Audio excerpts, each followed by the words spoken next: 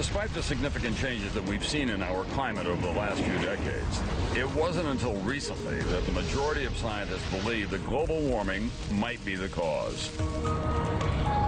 If you talked to me five years ago, I would have been kind of a fence sitter on this whole idea of greenhouse gases involved in climate change. We'd been looking at the natural cycles for some years, and I was convinced they were the dominant force. And so it's taken us about, well, about a decade to really put the numbers together. Skeptics will say we've been through this in the long course of history before. We've had spikes and drops in temperature. Why is this different? What's different now is that we now understand quite well what caused these changes of the climate.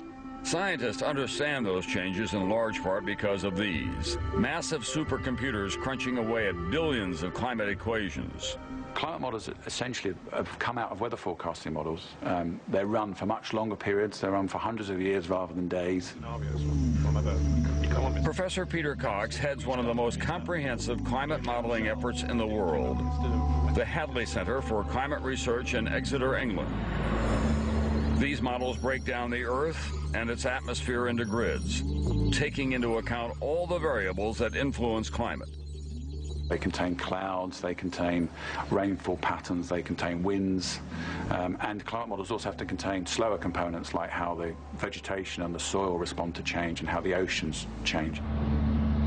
If you have any remaining doubts that human activity is behind rising carbon dioxide levels and rising temperatures, take a look at the results of this Hadley Center model. The red line tracks the actual temperature rise over the last 150 years. The green line, Earth's natural climate cycles. Watch how it begins to deviate from temperature. The yellow line, on the other